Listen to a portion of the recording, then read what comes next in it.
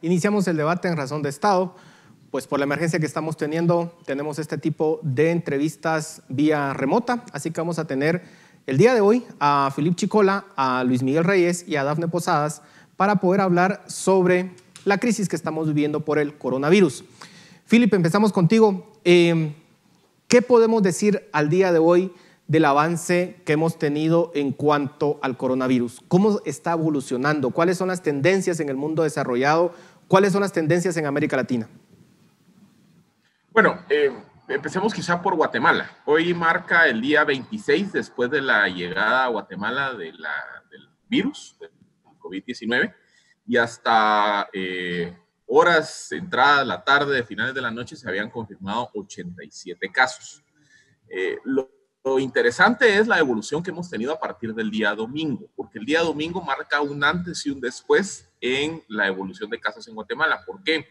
Porque antes del día domingo, todos los casos que se habían reportado hasta ese entonces eran casos de virus importado, es decir, personas que habían estado en el extranjero o personas que habían tenido contacto con extranjeros eh, contagiados y eh, obviamente toda la ramificación derivada de esas personas. El día domingo se anuncia el primer caso de contagio comunitario que hace referencia a un caso en donde no está claro una fuente de contagio epidemiológico con alguna persona venida del extranjero o que haya visitado del extranjero. Eso marca un antes y un después, porque cuando estamos en la fase de contagios importados, estamos en la fase 2, en la fase de contención.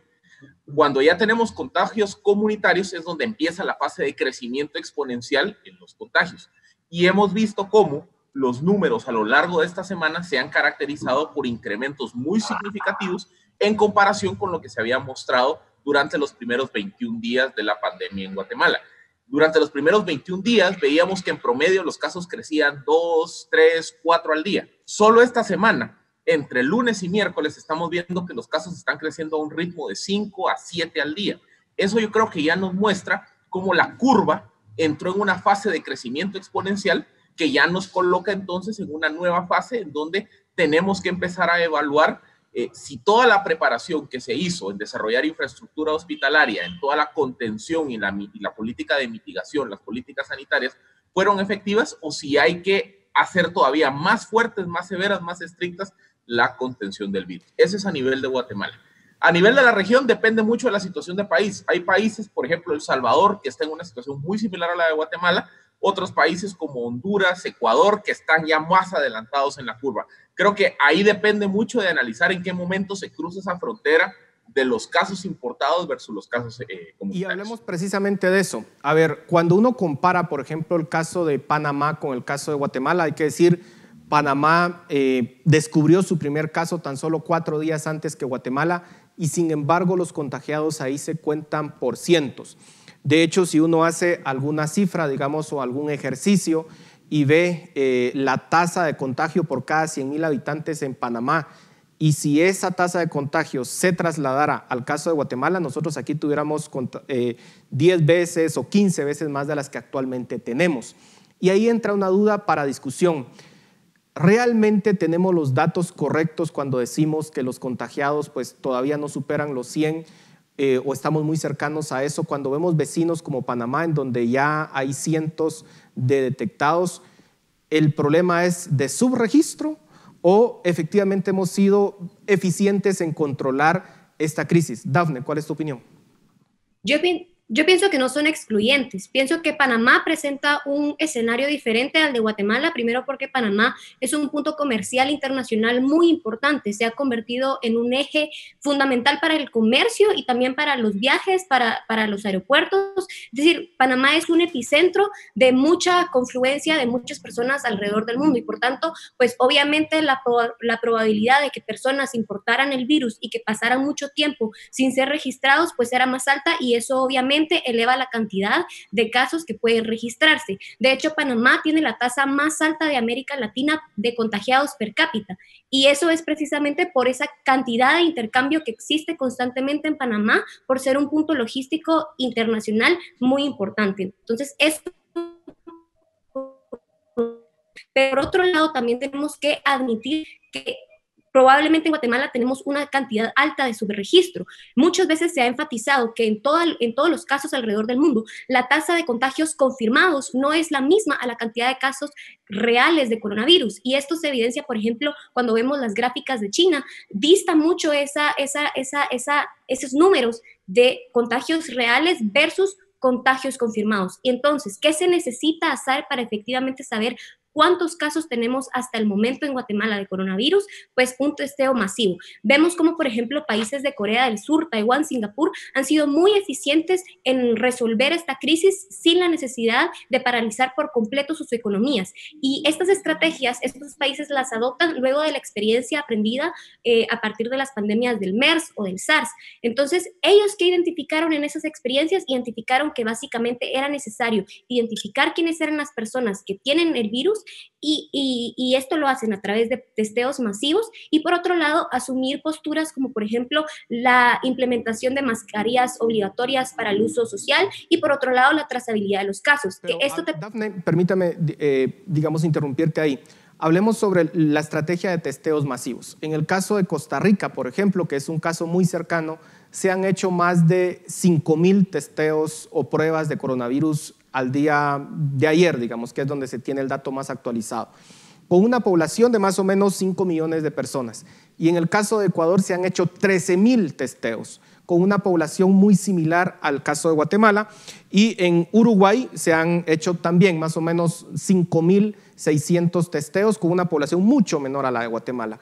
En el caso de Guatemala, los test que se están haciendo va a un ritmo demasiado lento.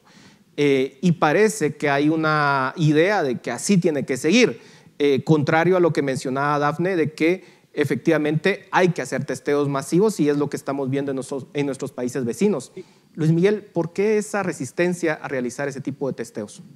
Bueno, eh, no sabemos realmente si es una resistencia. Pareciera que es parte de la estrategia que está siguiendo el gobierno de Guatemala ahorita. De hecho, en la última alocución que tuvo el presidente de gobierno con la población, él dijo que en, ellos consideraban que en este momento de la pandemia o de, o de la emergencia todavía no era necesario hacer testeos masivos, lo cual es muy discutible, ¿verdad? Hay una discusión técnica muy interesante sobre el tema porque muchos lugares dicen que la clave para lograr eh, detener el virus es saber en dónde está el virus y saber las cantidades eh, de las personas que se están testeando. Entonces, eh, digamos, esta discusión es interesante. Ahora, lo que pasa es que también hay que considerar que sí hay un problema de existencia o de disponibilidad de los test, ¿verdad? El presidente también anunció que esta semana estaban entrando eh, casi 26 mil nuevos test que venían de parte del Banco Centroamericano, del BCIE, ¿verdad? Y eso pues seguramente va a ampliar un poco la disponibilidad de test que tenemos. También se amplió la posibilidad a que algunos Em, hospitales privados pudieran eh, tener, eh, tener test para poder hacerlos y luego enviar los resultados al Laboratorio Nacional de Salud. Digamos, el ritmo al cual se ha hecho eh, esta estrategia es demasiado lenta y, si es un tema de disponibilidad, bueno, Ecuador ha hecho 13 mil test, Costa Rica, repito, ha hecho 5 mil. Países que son de alguna forma similares a Guatemala en términos de riqueza. Yo quería, yo quería un poco matizar algunas de las dos preguntas anteriores, porque creo que hay un error que se ha venido cometiendo en cuanto a la comparación entre países.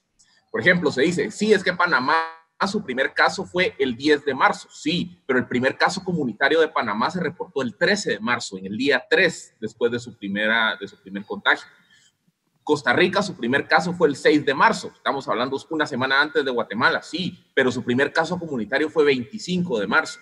Guatemala su primer caso fue 13 de marzo, pero su primer caso comunitario fue el 5 de abril. O sea, son países que a pesar que el caso 1 eh, convergen en una ventana de, temporal de una semana, el caso comunitario número 1 difieren. Por ejemplo, Panamá tuvo casos comunitarios muy rápidos en la curva.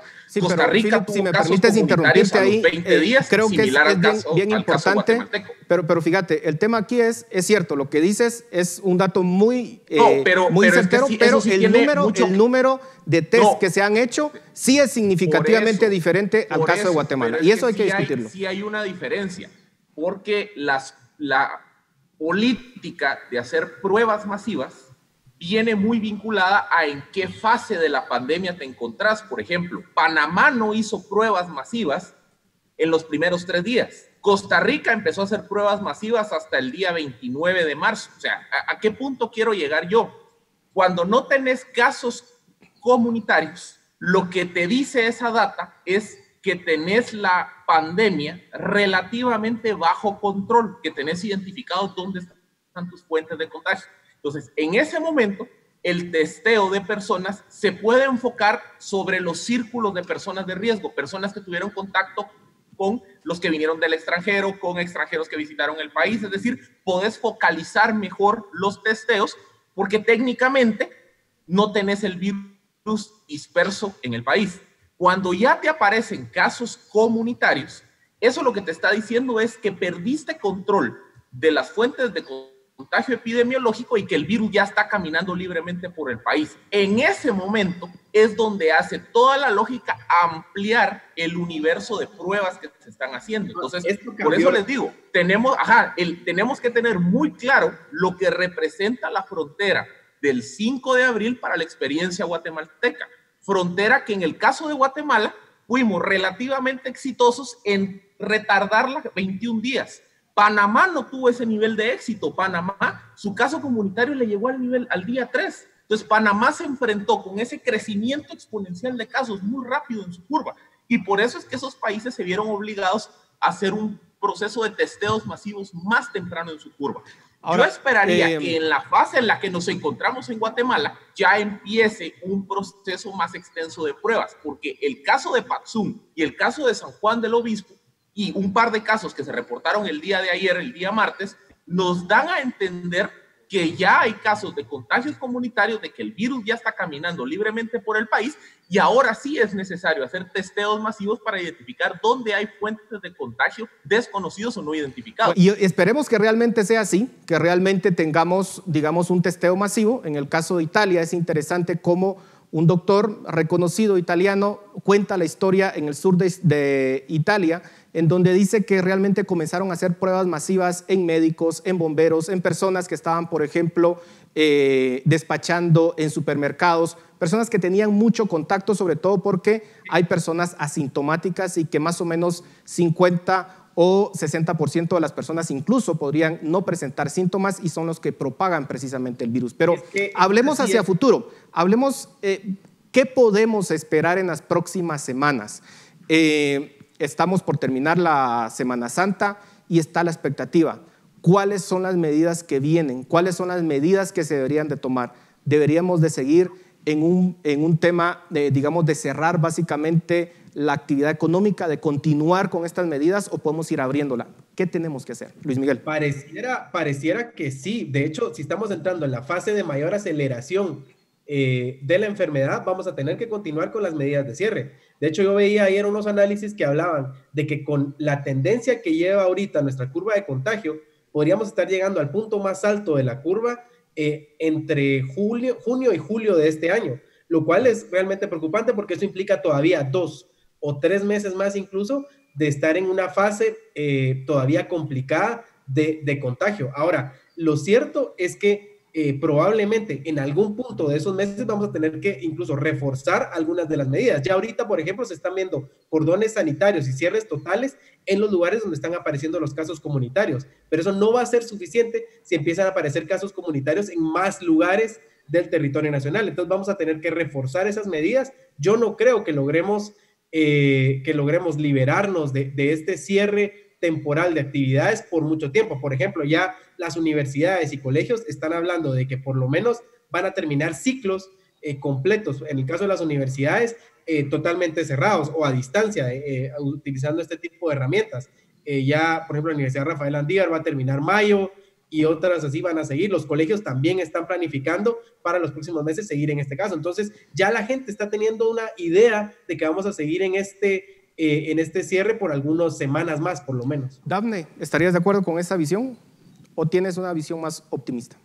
Aunque bien es cierto que existe una tendencia pues de, aceleración más o menos relativamente lenta de los contagios. Me parece que Philip ha dicho algo importante y es que el domingo marca un antes y un después de, de, cómo se ha evolucionado el coronavirus en nuestro país. Y me parece que es momento de implementar una estrategia agresiva de pruebas de detección. Lo que sucede es que si bien es cierto que la sugerencia de permanecer en nuestras casas es una medida que se debe hacer, no podemos en una economía tan precaria como la nuestra prolongar por mucho tiempo pues este encierro. ¿Por qué? Porque muchas de las personas que trabajan en la economía informal van a padecer de hambre, van a padecer de pues no poder continuar con sus actividades regulares y esto implica muertes y la tragedia del coronavirus es una tragedia doble. Entonces, obviamente, aunque estoy de acuerdo con que probablemente deberían de ponerse más rigurosas las medidas en estas próximas semanas, debemos implementar estrategias diferentes que nos permitan continuar avanzando también con nuestra economía, porque claro, el debate de economía y salud se ha hecho pues muy amplio, pero en realidad ese dilema es un falso dilema. Tenemos que entender que la economía también es salud y la economía también es humana. Entonces, aunque bien es cierto, necesitamos implementar medidas más agresivas, debemos identificar qué otras estrategias han utilizado en otros países para poder continuar con sus actividades regulares. Y estas medidas son uso de mascarillas y testeo masivo. Es momento de hacerlo. Philip, ¿cómo lograr ese equilibrio? Paul, Paul mencionaba el caso de Italia y creo que este es buen momento para ver la experiencia italiana. El primer caso en Italia se reporta el 31 de enero y 22 días después, el 22 de febrero, tenían 77 contagios. En datos no es muy diferente de cómo ha venido evolucionando la curva en Guatemala. ¿Qué pasó? El 22 de febrero se presentaron los primeros casos de contagio comunitario en Italia, similar a, lo que está pasando en Guatemala. O sea, la diferencia son uno o dos días. Italia no tomó medidas estrictas sino hasta el 7 de marzo, es decir, pasaron casi 15 días con medidas relativamente leves de eh, política sanitaria. Y eso lleva a que del 22 de febrero el número pase de 79 casos confirmados a tener más de 5 mil casos confirmados a principios de marzo y ahí la curva solo se aceleró exponencialmente. Por eso les digo, la clave es que cuando un país pasa del contagio importado al contagio eh, comunitario, ese es el momento en donde se tiene que hacer todavía más estrictas las medidas si se confirma, porque todavía, digamos, hay alguna nebulosa sobre el caso de Paxún, si se confirma que el caso de Paxún, el de San Juan el Obispo y algunos que se, que se anunciaron el día martes son comunitarios, a mí no me extrañaría que veamos una ampliación en cuanto a los cierres de actividades eh, educativas, culturales, algunas actividades económicas, tal y como lo hemos manejado desde el pasado 25 de enero. Porque este es el momento en donde realmente entramos en esa fase donde ¿Qué tanto vamos a, desacelerar el crecimiento exponencial de casos o qué tanto se dispara la curva exponencialmente? Este es el momento también para hacer todos los testeos masivos, porque si hay casos comunitarios, hay que identificar en dónde se nos fueron, dónde no pudimos identificar esos contagios. Y ahí es donde ya se pueden empezar a hacer pruebas aleatorias. En un momento en donde, por cierto, la mayoría de pruebas que fueron importadas por sector privado, por gobierno, por el IX, donaciones del Se nos está terminando el, tiempo, se nos ha terminado el tiempo, Philip. Eh, Luis Miguel, querías hablar 15 segundos y contigo concluimos. Sí, yo solo creo que esto que está diciendo Philip casi hay que darlo por hecho. Yo creo que el presidente Yamatei va a tener que salir en los próximos días a decirnos o a darnos el mensaje de que vamos a continuar en este cierre temporal de actividades. No va a haber mucha opción, eh, lastimosamente, ¿verdad? Sabemos que es duro, sabemos que la economía se va a afectar fuertemente, pero es una realidad.